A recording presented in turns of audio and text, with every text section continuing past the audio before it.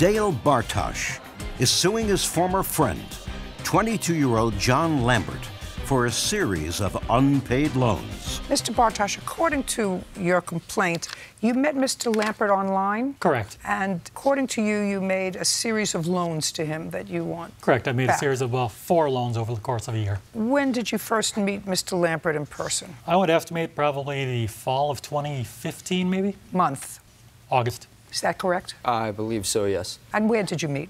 We met Where? online. No, I know that, but then you met in person. and we, where? We met at a restaurant where he worked. And when was the first loan? October of 2016. For how much? That total loan was for the amount of $1,052.59, and that was for an auto repair that was made to his vehicle he had at the oh. time. Now, between August of 2015 and October 2016, did you frequently see Mr. Lambert? On occasion, yes. How many occasions in the course of a year? A couple times a month, Where? where he worked usually. Now, you made the first loan October 2016. When was the second loan? Approximately November 30th of 2016. For how much? Uh, that was a cash loan in the amount of $100, and that was to help him with his December rent for December of 2016. Good. Between October and November of 2016, did Mr. Lambert repay you any money? No, he did not. Okay, when was the next loan? The next loan was also around the same time frame, end of November 2016, and I loaned him the use of my Target credit card so he could uh, purchase some personal household items that he needed. So you gave him a credit card. I did. And?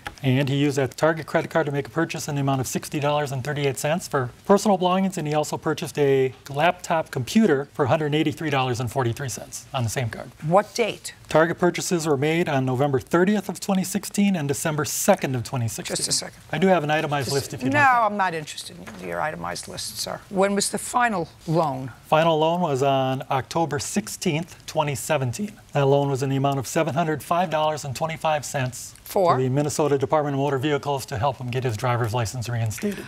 Now, when you made the loan to him on October 16th, 2017, had he repaid any of the money that you loaned to him in October of 2016? He had made one payment in the amount of $13. 13? $13. Okay. And in October of 2017, Mr. Bartosh, when you gave him $705 again, had he made any payments on any of the previous amounts of money that you claim were loans? Other than the one payment on On- March other 9th? than $13? No. No. Nothing. Then they're not loans. Because otherwise you're a fool and you don't strike me as a foolish man. If you lend somebody money in 2015 and they don't pay you back any of that money, and you lend them money in 2016 three times and they don't pay you any of that money, and then in 2017 you lend them more money and they don't pay you back any more money, either you're a fool or they weren't loans.